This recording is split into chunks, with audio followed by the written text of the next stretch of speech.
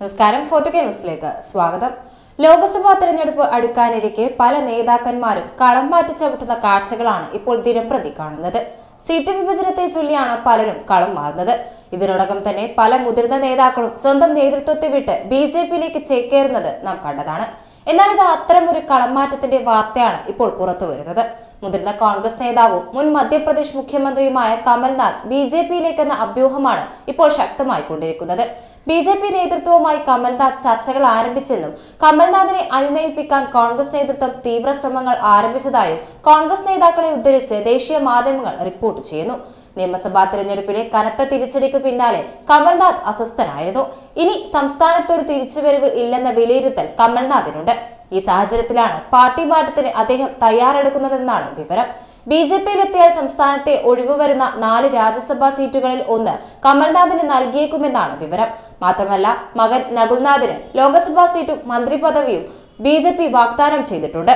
ചിന്ദ്വാര സീറ്റിൽ നിന്നും നകുലിനെ മത്സരിപ്പിക്കാമെന്നാണ് ബി ജെ പി വാഗ്ദാനം. ആയിരത്തി തൊള്ളായിരത്തി എൺപത് മുതൽ രണ്ടായിരത്തി പത്തൊമ്പത് വരെ ഒൻപത് തവണ കമൽനാഥ് പ്രതിനിധീകരിച്ച മണ്ഡലമാണ് ചിന്ദ്വാര.